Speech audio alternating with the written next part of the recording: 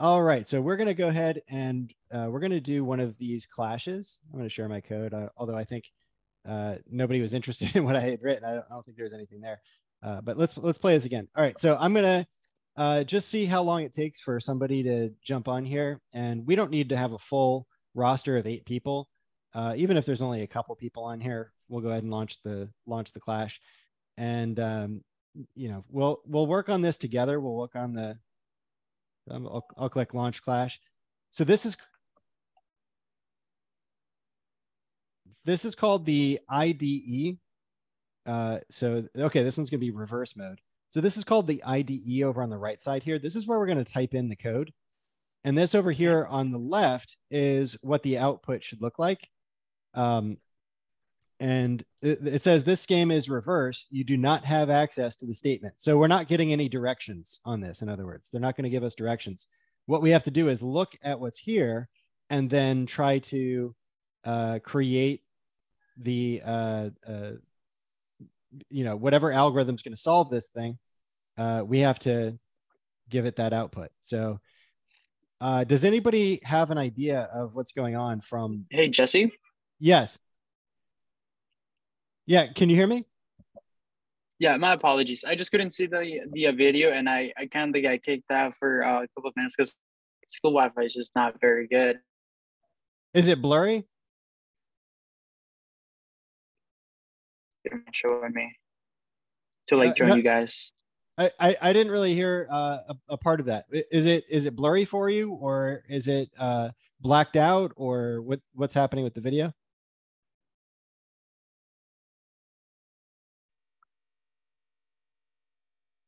Sebastian, can you hear me? Hey, yeah, yeah. The the school Wi-Fi is just not very. um. It, it, it, so you're I'm kind of cutting in and out. Is that what's happening? Yeah. Okay. Yeah, just just try to um, keep up as best you can. Uh, again, you'll get to watch the recording, so that'll hopefully help with that. Uh, is everybody else able to hear me? Okay. Yes. All right. All right, cool. So uh so we've we've got uh, uh 13 minutes left to solve this thing. Does anybody have an idea of what could be going on from this first image to this second image? Like what change do you think is being required here? Because they look pretty similar, right? The eyes. The eyes. Yeah, it looks like the eyes go go from being open eyes right here with O's to being uh X's over here, right? So I don't really see any other changes as I'm looking through the um as I'm looking through these. And I don't know if they're all uppercase or lowercase either. I think they might be I think they might all be lowercase, but it looks like that's the only thing that is changing there. So what we're going to do is uh, over here in the IDE, you can see that we're importing a few modules. We don't really need to use these. It just automatically uh, auto generates those two. Um, but we're probably not going to need them for this challenge. Uh, so, oh, someone already finished it. that's, that's, uh, they're quick on this, but we're probably going to take the full 10 minutes because we're going to talk it through and, and, and kind of explain what's going on. So uh, the n that we're getting here looks like how many rows there are to the picture. And then for i and range n, it's giving us that row. So that row is a string, right? So there's a string of characters here and we really don't want to replace we really don't want to change any of the uh, characters except for these o's which are which are the i's right? So what we're going to do is we're going to we're going to say we're, we're collecting this row and then we're going to print um actually i think what i want to do is for there's a couple of different ways i could do this. Uh, so let's let's print row and we can do, but we can replace. Now let's let's do it differently. Let's do for j in row.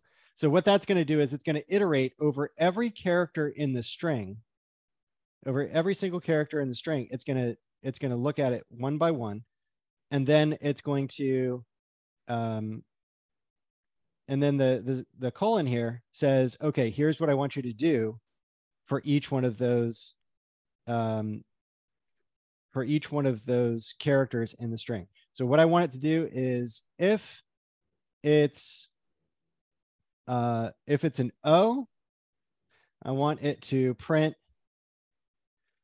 an X. And uh, again, I don't know if it's lowercase or uppercase. I think it's uppercase. Let's see. So if it's a, let's try, let's try uppercase. So if it's a O, I want it to print an X. Uh, and actually, I don't want it to stop there. I want it to do end equals and then empty because it, that's not finishing the line. Normally, Python would finish a line at, with a print statement, but I'm putting in end equals empty string in order to make sure that it's not going to finish the line. It's just going to go to the next character.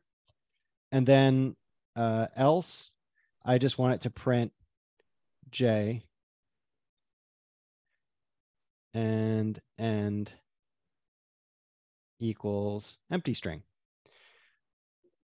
And then uh, at the end of all of the characters of that row, I need it to print. I, I need to have just an empty print statement so that it goes to the next line. So let's see if this works. Okay, no, it didn't work because what it expected was. Hmm. Oh, let's see. I'll do O. Let's try lower cases, see what that does. Uh, that doesn't do it either. So what I could do, let me comment these out for a second. And just have it print what it's giving me because I'm I'm curious what the so print row. What's it giving me? Okay, so it's giving me this cat. But for each character, what am I doing wrong here? So for J and row, Oh. Okay, I know what I'm doing wrong.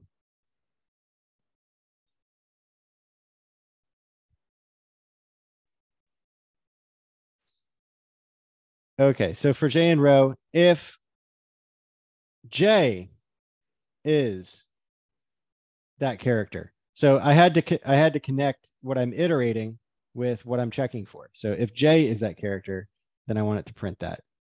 And I'm going to go back to caps again because I think that's what it was. Okay, and then let's try it again. All right, so now it's looking better.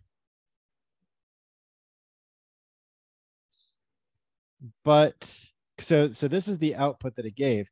So it's looking better, but this line where we're supposed to make our change, it found the open eyes but it expected the closed eyes. So I think that could be because these are actually lowercase. So let's check for lowercase.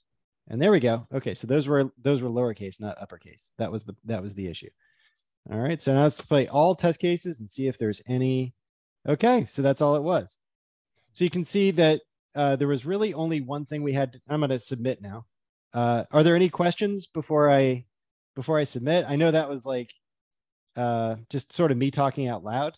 Um, but but these are the these are the clashes, and uh, again, what's cool about it is that you get to see what other people uh, share as their code. So somebody else might have solved this differently than how I did. What do you guys think? did I like totally lose you on this? Uh, I know you, you might not have much background in syntax yet.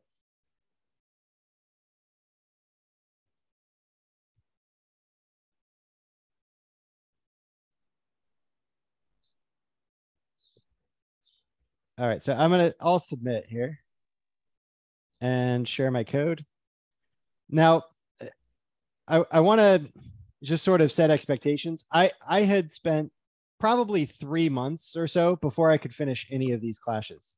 Like they, they it it's even with somebody explaining what's happening, it's it's kind of tough. Um, so if you click view code, you can see what the other person did, and that kind of gives you um, a, a way forward because you can learn new code. You can see how other people solve that problem, and it's like right on the spot. So it's after you just tried to solve the problem that you get that feedback. So that that can be really helpful. Um, but these these for loops, like that's one of the that's one of the main things that um, that you're going to do with these kind of puzzles is is usually like for loops. You might have some while loops. You'll have a lot of conditionals like these if else. So, uh, you know, again, just to recap, if it was an O, if it was an, a cat with open eyes, uh, then we just change that to an X. So print X instead. And then otherwise, we just want to print the character as it was. All right. What do you think, Mike? Yeah, I understand what uh, intelligence level, but uh, as you said, I'm still used into the syntax. Yes. sometimes. Yeah. Uh, so so which which terms are you familiar with, and which terms uh, have you not used before? Have you used uh, the if else statements, or? Uh... I am not yet at the else statements. Okay. All right. So so let's um let's kind of back up to so I I definitely think CodinGame is is a great place to practice and and spend some time, but that's again that's something that you're going to have to do um you know for a while before it starts to click. Right? So uh it uh Sebastian, you've got a little bit more experience with coding. Were you able to follow along with what I was doing there or was that still kind of confusing? No, it, it actually, I, well, I, I, saw a little bit. It really wasn't confusing. You explained pretty well, but my Zoom call it's lagging, so I it was constantly cutting off and cutting off, and then I literally got gotcha. kicked out like three or four times. I do apologize for that. Um, no, no, no, that's okay. Uh, that's okay. I, yeah, I was paying attention to what you were doing, but uh, I'm trying to get it on my side. I'm not longer doing it on my laptop. I'm doing it on like school's computer because it's faster. It's like Wi-Fi doesn't cut off in there. But gotcha. I'm on the website right now, and I'm I'm not so sure where to go or how to like join your guys's um event or group. Gotcha. Okay, so uh, you know what I could do is I could actually send you a link. So I'm going to play again, and uh, I I can send a link. So I'm going to put this now in the in the chat. Uh, here you go. Yeah, oh, that'd I, be great. Oh, you know what? I I'm not sure awesome. if it's gonna let you in. I think I think it might. I think it might be too late. It might have closed. Uh, see if you can get into that. Well, there. Does it does it say that it's already closed?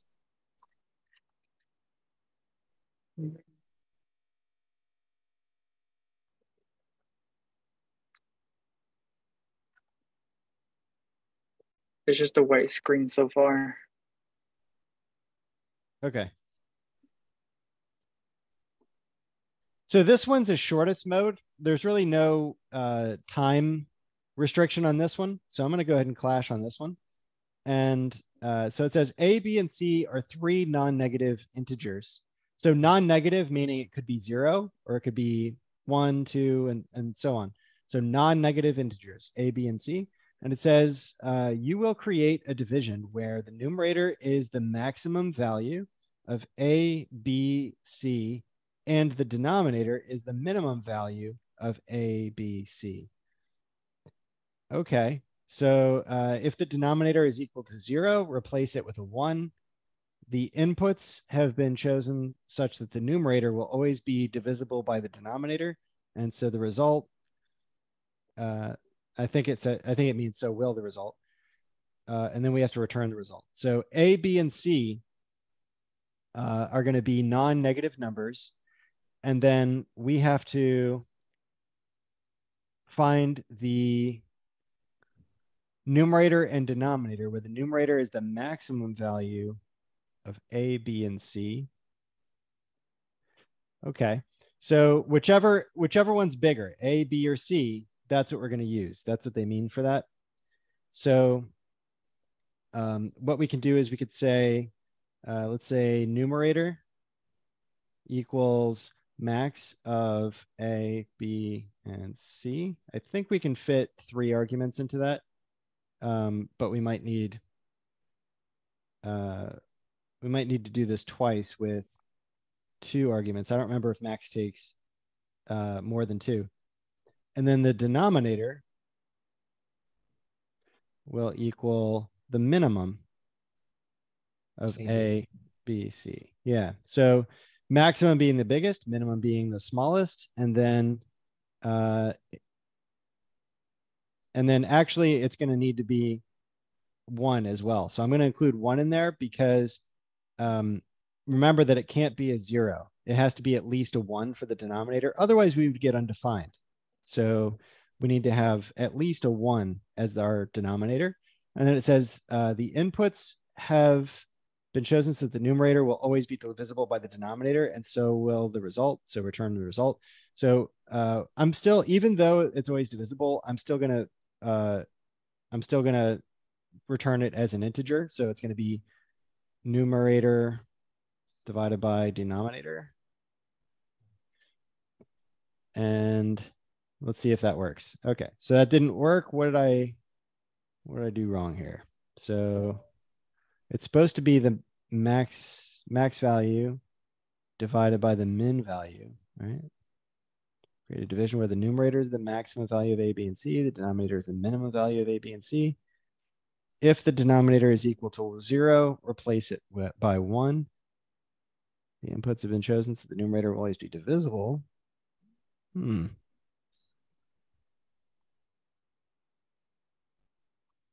Okay. So it found four.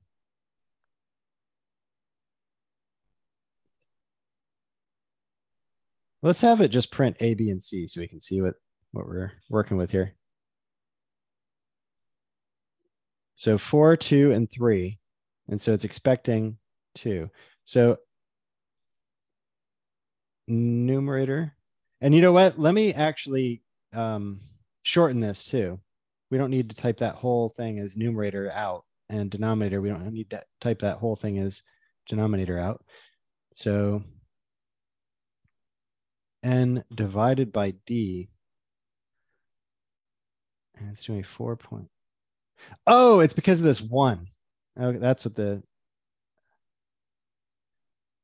That's why. Okay, so that one is throwing me off because it's actually the minimum. That's.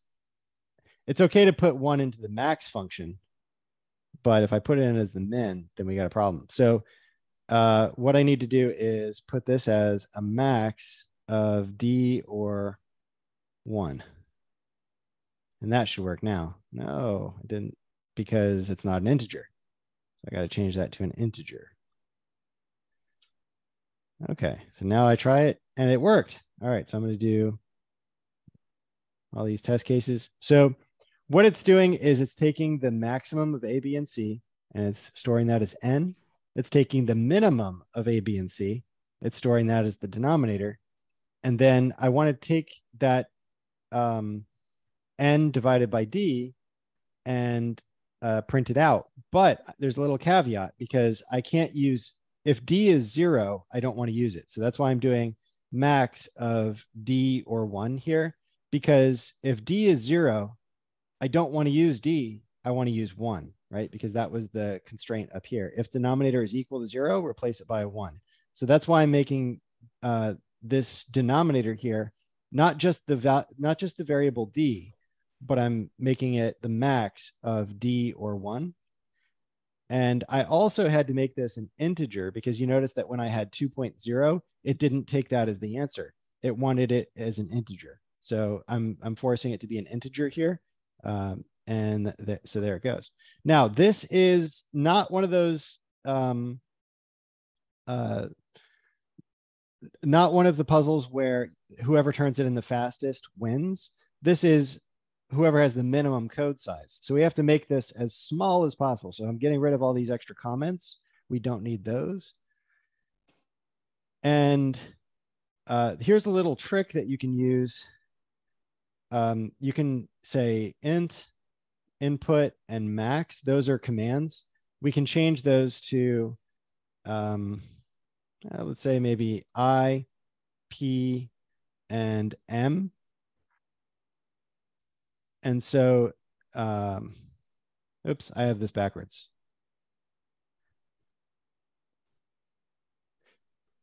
So what I'm doing is instead of typing the command integer, I'm replacing it with an I. Instead of typing out the command input, I'm replacing it with a P. Instead of typing out the word max, I'm re replacing it with an M. And then here I'm going to have I and then P. I'm going to do that for all these.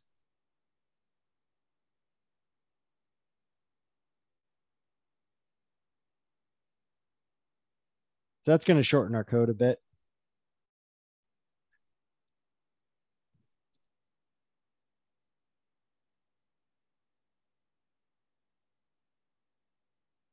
Uh, so instead of having to write out the word input, I've now replaced that command with the letter P.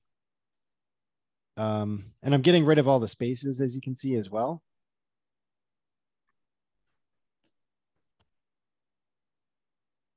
Oop, I forgot to do something for, um, let me change this for X and I'll change this for M because I also have minimum. So this is actually X and this is actually minimum. And then a max is just X. This is just I, and this is just P. Okay, so I think I've, it's now kind of unreadable. I can't really make sense of this anymore, but uh, I've made it so that um, every, all of my commands and all of my variables are only a single letter. So that should give me the smallest code size that I can get with this way of doing it.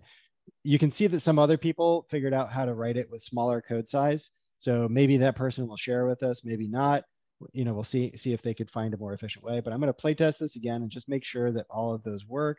And yes, they do work. Notice that I'm getting an error. It says um, that it's because uh, uh, I'm using input and I'm not inputting anything.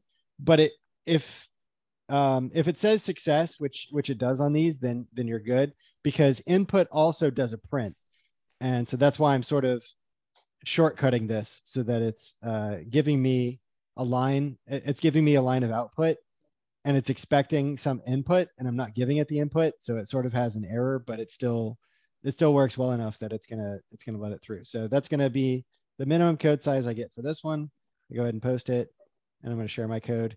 All right, so let's see how this guy who had shorter code. Let's see. Look at that. He did it in two lines, and that's often what happens in these um, uh, in these contests. There's like a really efficient way to do it, and uh, so that's that's why I say like as you do these more and more, you're going to see how other coders would do it, and it gives you access to commands that you might not have thought of. So this is saying a star equals map int open and so I, you know, I, I may not be familiar with those commands. What I can do is I can go over here and just Google the docs about what those what those mean. So I go to Python open.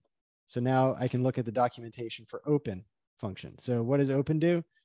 So it opens a file and prints the well, you can open the file and then you can print the con the content in that file.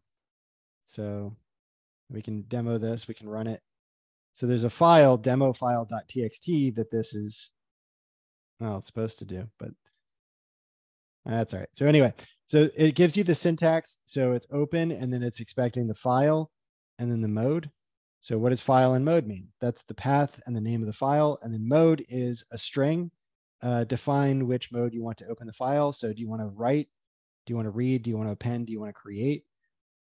And it gives you some examples. So you you can uh, this is a, a site that I use a lot, W3 Schools.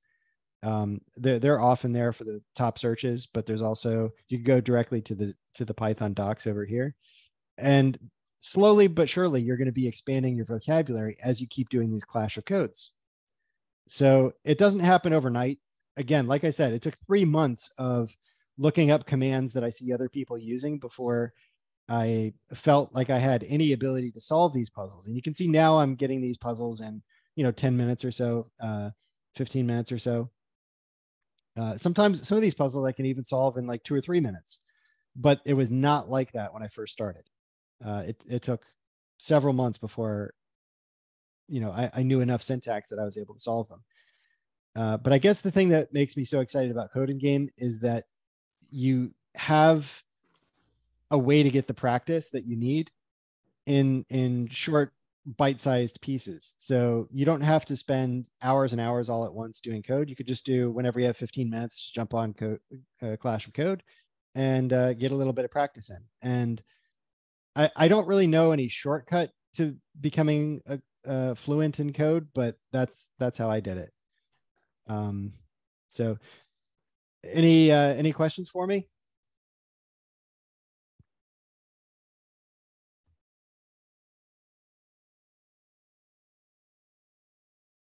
Um, maybe maybe uh, Stephen or uh, Stefan, you, you guys might have uh, some some input on how you learned how to code. Like uh, any tips that you want to share that would maybe speed up the process? As you were before you mentioned W3 schools, I just sent you an email about W3 schools because that's what I used. Yeah, there so there's a lot of tutorials and stuff too. And uh you know you definitely want to mix and match like spending time on on sites like w3 schools. Um uh there's video tutorials and things like that but you have to combine that with the practice too and that's why i like to show CodinGame because that that's where that's one of the places you can get a lot of practice. Yeah sebastian go ahead.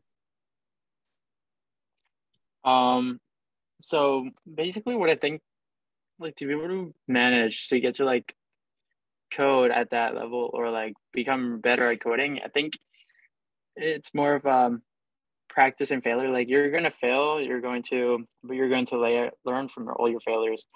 And the best way to really go on about this is to just do it. I mean think it's like like this website CodinGame like it's literally based of a website. Like you're literally coding in a website to like make a game. Like i see they have a lot of games here. So make it like fun, yeah. make it interesting, and it's okay to fail. It's it's pretty looks pretty cool.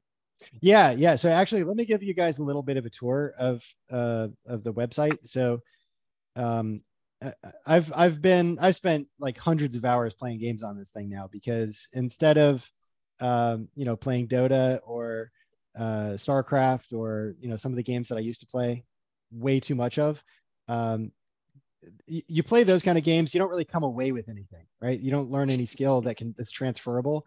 But when you're playing CodinGame, like you can play and play and yeah. play, and you just get better at coding. And so like that's that's what I think is so awesome about it. So uh, yeah. I'll show you I'll show you some of these that I um you know he was mentioning the games like these are are you guys able to see uh these are all the games that I've I've actually played all these games so so um let, us go let's go to my my code for just one of these things.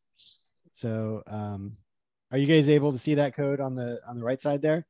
Uh, I've got you know not even that much code. It's just uh, like a couple hundred lines of code. Yeah. uh, some some functions of like um, how I decide where I'm going to send units, uh, how I'm going to upgrade units, or uh, how I'm going to upgrade factories, uh, things like that. And I collect all the inputs, put them into uh, dictionaries and put those dictionaries into lists. And then uh, you know eventually you get you get something like this. So this is uh hopefully it's going to win but i might i might lose this one. We'll see. I think i'm i got his i got one of his factories. So oh yeah i think i'm so yeah the small maps my my bot does not do good on. Um so th- that's that's one of them. That's uh that's called ghost in the cell. That one's pretty fun um, there's another one that I spent uh, way, way too much time on, which was Spring Challenge 2022. This is the first one. I actually got to Gold League on this one. And uh, again, you know, I, I, after many hours, this is like hundreds of lines of code to get my bots to do everything I want them to do. Uh, but it works. And so we'll go ahead and play the computer. Sometimes I win, sometimes they win. It, it's, it's sort of a toss up uh, but you'll see how this works. So let me full screen this. So uh, you've got three units and one acts kind of like a goalie. And then these other two go out and they kill spiders. And every time you hit a spider, uh, you're, you're getting mana. So the mana is used to cast spells. You can see I'm I'm pushing them back with a wind spell and uh, trying to keep them out of my goal. Eventually, once I have enough mana, they're going to go over. They're going to start mind controlling these spiders and sending them over to the base, and then they're going to try to push him in. This guy, yeah. So he's he's trying to push these in now, and he's going to put a he's going to put a, a shield spell. Oh no, he okay. They beat me. So you guys can see, like, you can spend way too much time uh, building this, but it, it's it's really fun. Like it's it's a uh, it's actually like a legit game here. Um, they have some that are like Pac-Man as well. Uh, let me go over here and find like a Pac-Man. Jesse? thing. Yeah, can you hear me? Hi, I'm here. Can you hear me? Yes, uh, I just have a real question. Um, Yeah, yeah. is it is it possible to connect a coding game with uh like let's say like my GitHub GitHub account and like um have them connect to each other Yeah. with each other? Yeah, so uh, all of these games, like let me go to um, uh, this is like a Hearthstone sort of a game, so it's like a card game, and uh, actually every one of these games, uh, just about, uh, if not all of them, have a, a GitHub um, uh, link where you're able to go and look at the source file for that game. So if you want to start making games, like you can study the source file on here and you know you can create your own games and, and upload them to CodinGame. Awesome. awesome. Yeah. So it's not necessary to go into GitHub and and to uh, to be familiar with GitHub in order to get started. So I, I like that that barrier to entry, you know, is, doesn't doesn't get in the way of complete beginners starting. Um, but and and you can you can start at like really low level. Uh, you're going to start in the Wood League, and it doesn't ask you to do very much. It's like a really really simple bot will be able to win. Uh, so sometimes I've added only a couple lines of code, and that's been sufficient. So I'll give you an example of that. Um, with the the first one that they introduce you to is, um, where's my? Oh, okay. I need to move a window here. Okay, so if you go to uh, the very first bot, it's Mad Pod Racing, and I- didn't really find this one to be super fun, but like some people love this one and uh, so they made it like the introductory AI bot that they that they start you with. And I I I have like not even really 10 lines of code. I only added a couple lines of code here and uh and that was it. So let me just I'll just copy this and Oh wow. restart it. So this is what it this is what it starts you with. This this is the beginning code here. And all I did was this, and that was good enough to get to Silver League. so like it, sometimes it does not take very much to get to get started with these. Um, but you know, you can take it really far because uh, some of these people that are in the gold and the legend league for this game, they're using things like genetic algorithms. They're using like really advanced kinds of algorithms to be able to solve these and uh, increase their scores. And so you can take it as far as you want to go, but as a beginner, you don't have to know that stuff to get started in the lower leagues. So you can get on the leaderboard and, and just progress as far as you as you want on at your own pace. All right. So uh, we're we're coming up on 11:55 here. Um, what I want to do on Monday, uh, and and by uh, uh, next week, hopefully, like when we do the online um, meeting next week, we'll have this sorted out. But there is a um, uh, let me see. I'm going to stop share here for a second. Uh, there is a thing we have to fill out for Palm Beach State. And probably brought it up on Edge, maybe. I don't know. Uh, well, anyway, there's some paperwork that we have to do for uh, uh, the club in order to make it like an official club. And so, uh, you know, we'll get all that sorted out and make sure that we're um, on engage and everything like that. So, uh, hopefully, we'll get more people coming to this and and definitely tell your friends about it. And uh, hopefully, we can get lots and lots of people learning how to code. Jesse, quick question. Yes. Is it possible to invite people that um aren't exactly going to this campus, like, and maybe that aren't even like college per se. Because I have a friend, and also my brother. I kind of like to invite my brother. who's like really into coding. Yeah, you know, I'd like to meet him. Um, I, I, I think we don't really have the same barrier to uh, uh, with Zoom that we have for the in person. Uh, so so that wouldn't bother me. Uh, are there are there any objections or, you know, I I guess I may have to look through the paperwork and if that's prohibited, then that's prohibited. But, uh, you know, as as far as I know, that's fine. All right, awesome. All right, cool. Uh, so I'll I'll go ahead and close this one out uh, for today, and I'll see you guys next time.